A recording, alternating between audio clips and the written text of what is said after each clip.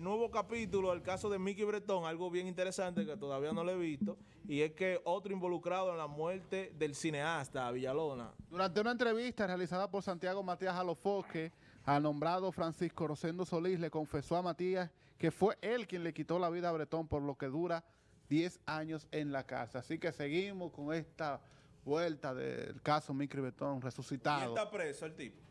Eso es lo que según dice. Santiago fue a la cárcel entrevistado. Vamos a ver el, el, el, trailer, porque esa entrevista va a salir ahorita. Vamos ah, a ver. no ha salido todavía, ok. Bueno, señores, esto, esto se ve como, como una obra de teatral. ¿Quién mató a Mickey Bretón? Una serie de Netflix. Una serie. ¿Quién mató a Mickey Bretón? El caso. Debieran de, de Netflix interesarse en, eh, ya que están saliendo nuevos datos y ese tipo de cosas. O el mismo Alofoca es una una serie, ya que el, el pana eh, ha hecho su media tour porque ya salió otra entrevista en la plataforma de Capricornio, donde supuestamente van a la tumba. No lo he visto también, tengo que sentarme a verla.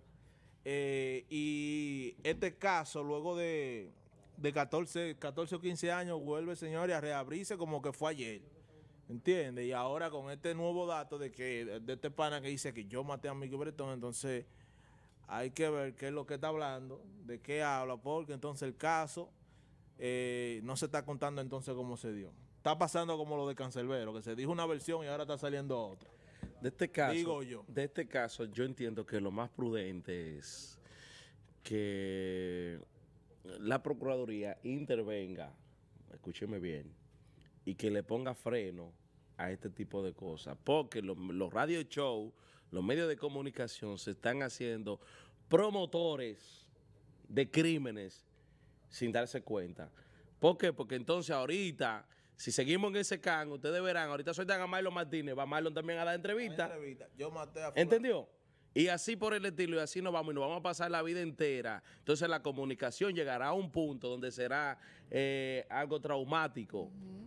Usted sentarse a ver un, un, un programa o una entrevista. Este tipo de cosas, este muchacho que salió ahí hablando de último, lo hemos visto en muchísimas...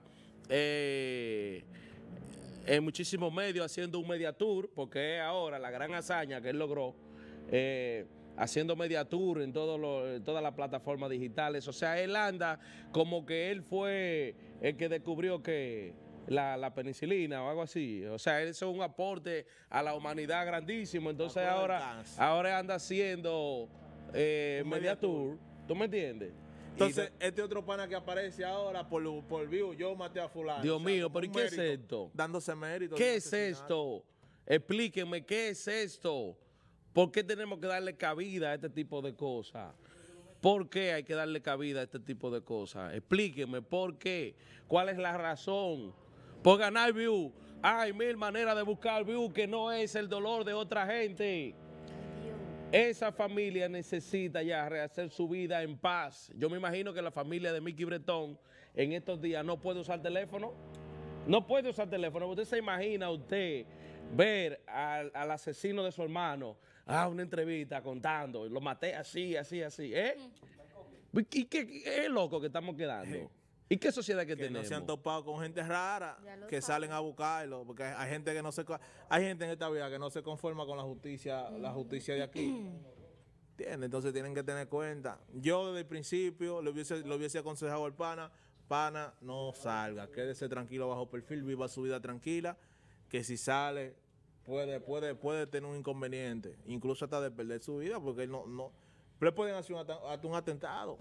¿Entiendes? Dios no lo quiere, entonces, porque está revelando muchos datos y está desenterrando un caso que ya estaba ya resuelto, supuestamente las autoridades, porque si, si a él lo, lo sacaron ya de prisión por, por, la condena que cumplió, entonces ya el caso estaba prácticamente resuelto. Entonces, ¿para qué viene ahora a desenterrar ese caso y a buscarte un problema nuevo, dando, dando entrevistas? ¿Entiendes? Para que la familia entonces empiece a atacarlo y ahora sale este nuevo fenómeno como que fue un, como dándose mérito. Sí. Yo maté a mi Bretón. ¿Qué mérito ese? Dime tú, ¿hasta, hasta dónde vamos a llegar?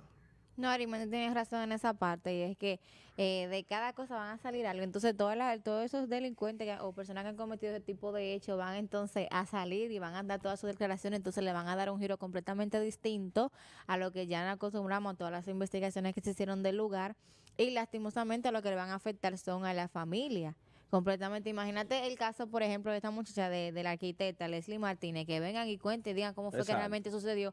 Conchale, la hija mayor, que ella tuvo, o sea, ella tenía tres hijos, creo. Entonces, la mayor, que fue la que hizo todos los, todos los medios, que habló a la prensa y todo eso. Entonces, que todo eso le afecte porque ella estuvo ahí dentro de lo que fue lo sucedido, porque ella estuvo en el momento en el cual eh, ocurrió el hecho con su madre. Realmente es muy delicado. Y, y algo que se- y algo que se ve a nivel a nivel mundial. Mira cómo están entrevistando a la asesina de Selena. Mira cómo entrevistan al asesino de. John Lennon. Gente Que por hacerse famoso, cabeza señores, la- el que va rumbo a la fama tiene que cuidarse. Porque apa- apare- aparece un azarado que por, por- por hacerse viral, aburrido de la vida, le quiere Tú, quitar la eh, vida. Eso eso- fue que murió John Lennon. ¿Eh? Por eso que O a John Lennon fue, un- fue un- fue un salvaje Mira. porque fue de que, de que para hacerse viral, para salir en toda la portada. Yo maté a John Lennon.